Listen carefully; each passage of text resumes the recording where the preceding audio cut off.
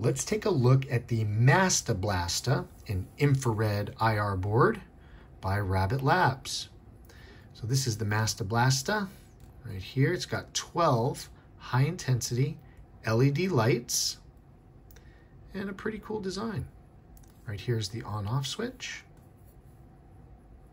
and our little awesome iconic rabbit. Very cool.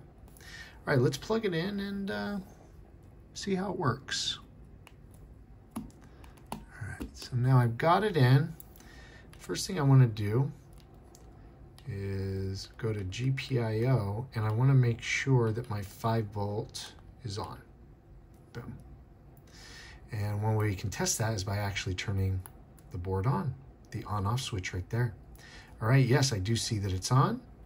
And now let's try to generate some uh, infrared signal using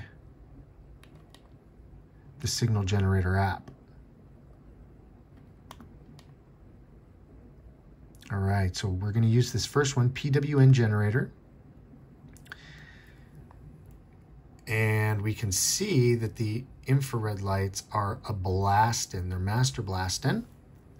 Let's turn that down a little bit so we can see it just a little bit better. I'm gonna come over here. Let's turn this to, I don't know, 14 Hertz and take a look. All right, look at that. Much different now. So I can take this board with these 12 high intensity LED lights and generate just about whatever signal I want. Take a look at that. Now it starts to become unnoticeable. We'll bring this down. See? As I bring it down, I'm at nine, eight, seven, six, five, four, three, two, and one. That's at one hertz. So that's how you use the Mastablasta and how you can generate your own infrared signals to do all sorts of pen testing. So this is the Master Blaster by Rabbit Labs for the Flipper Zero.